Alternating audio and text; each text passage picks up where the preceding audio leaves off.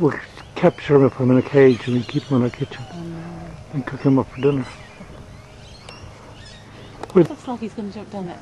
Gonna make his One the first, left, yeah, yeah. I know, he's gonna make his first leap, Yeah. a leap of faith. I wonder if they're scared of heights. There they are to begin with. Well, there's the parrots up there. Just peed.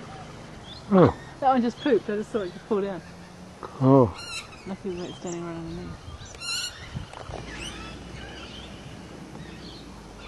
That's a natural art piece. a beehive right there. We got to get some honey.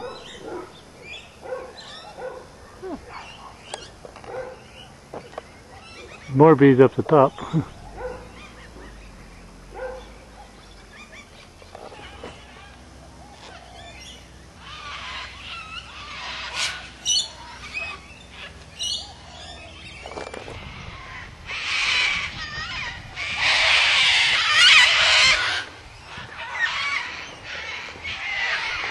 That's right.